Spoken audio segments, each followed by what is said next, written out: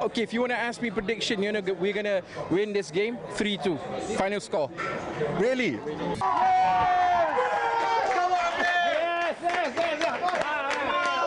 ah.